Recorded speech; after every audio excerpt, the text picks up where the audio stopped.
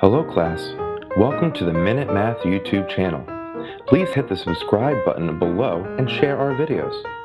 You can also find great math content and links to all of our videos at www.minutemathtutor.com. Alright now, enjoy the lesson.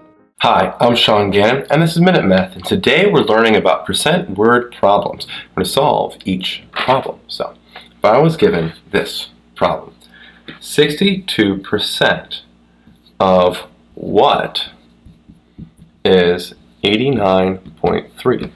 Okay?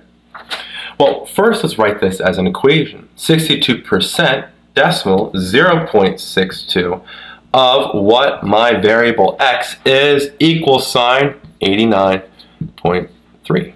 Okay, now we solve for x. Well, opposite of multiplication, division. Divide by 0.62 to both sides. And we're left with x equals, I have written down here, 144. 89.3 divided by 0.62.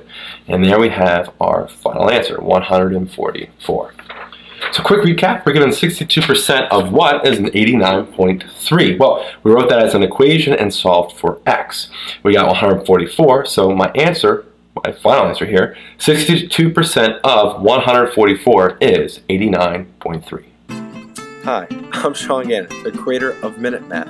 And if you like this video, please hit the like button that's right there. If you have a mathematical question, just add it to the comment section below.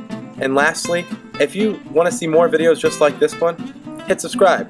It's right there. But as always, thanks for watching.